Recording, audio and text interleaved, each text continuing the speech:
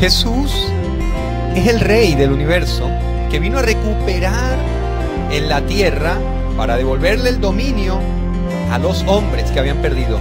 Dios nunca entregó la tierra a Satanás. Dios nunca creó la tierra para la oscuridad ni para la muerte. Dios creó la tierra para la vida, pero lo habíamos perdido. Jesús, el rey del universo, vino a recuperar el dominio y a entregárselo a los hombres. Entonces, algunas personas piensan en la salvación como algo místico, como algo sencillamente como un fin.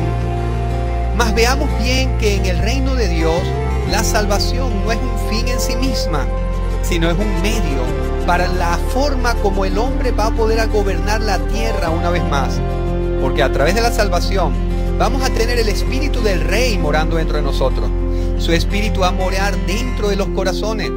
Este rey se llama Jesús y su espíritu, el Espíritu Santo, entrará en nuestras vidas para guiarnos a toda verdad y a toda justicia. Él se encargará de cambiar nuestra mentalidad. De acuerdo a la mentalidad del mundo que teníamos nosotros, no podíamos vivir correctamente, pero ahora teníamos que tener la mentalidad del reino de los cielos y cómo la íbamos a traer. ¿Cómo podía ser posible esto? Solo si alguien nos las traía a nuestros corazones. Esta es la persona del Espíritu Santo.